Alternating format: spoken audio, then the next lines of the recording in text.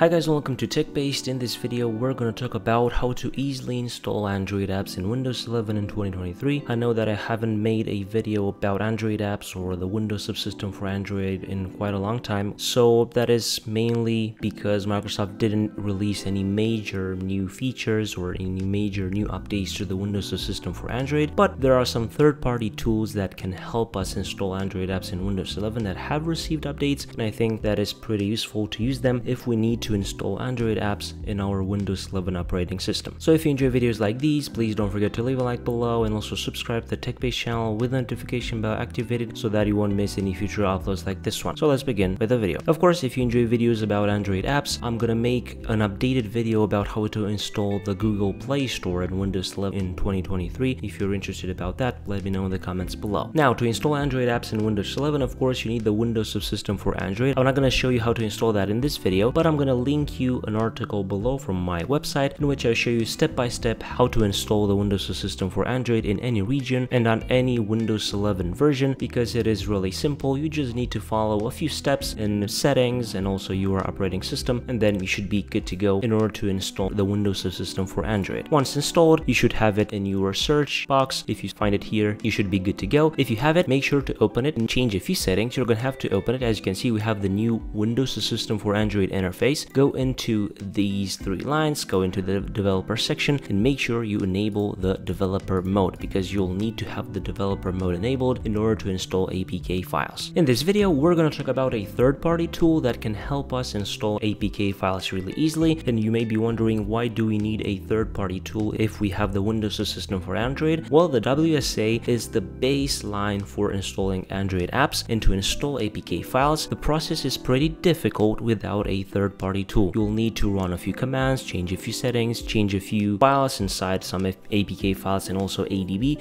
So the process is pretty difficult, but with the help of an app such as WSA Tools, we can do that really easily. I'm gonna leave in the description below the download link for WSA Tools. Of course, you can download it from that link or you can just directly search into the Microsoft Store WSA Tools and you should find this app. WSA Tools is an app created by Simone Franco and a big shout out to him for developing this app. We've talked about this app before but this app received quite a lot of updates and it now supports APK bundles and also has support for ARM64 PCs and I think that is pretty nice. It also has a new backup slash restore WSA function, which will basically help you create a backup and restore a created backup after you've done it. Also, to install an Android app, you're gonna need an APK file. I'm not gonna show you where to get your APK files. You have a lot of websites that provide APK files on Google. You can just search for it and just make sure to install it from a secure location. Before installing the app, also go into the settings section of the app and make sure that the ADB port that you have here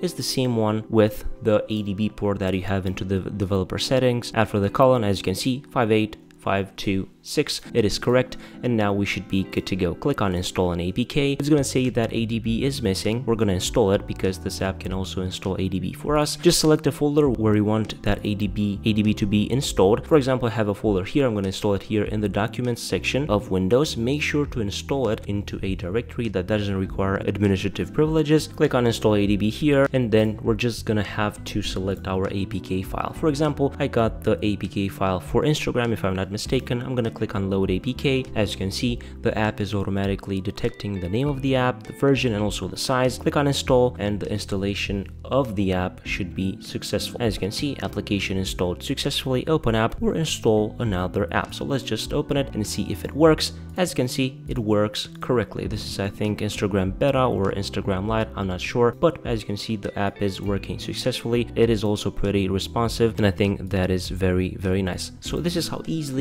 you can install Android apps in Windows 11. Just as a reminder, the full process, you need to install the Windows subsystem for Android using the article that I'm going to link you below in the video description. Just change a few settings inside the Windows subsystem for Android. Make sure you have the same ADB port inside WSA and WSA tools and just get your APK file to install your Android app. I think the process is really simple. And if you're asking, well, the process is not that simple, just watch a previous video that I've done in which I installed an Android app without a third party tool like WSA tools and you're gonna see that the process is way more difficult. You're gonna have to run commands, you're gonna have to change ports, change files. It's way more difficult without the help of a third-party tool like that. If you enjoyed this video, please don't forget to leave a like below and also subscribe to the TechBased channel with the notification bell activated so that you won't miss any future uploads like this one. I was Emmanuel from TechBased. Until next time, have a nice day.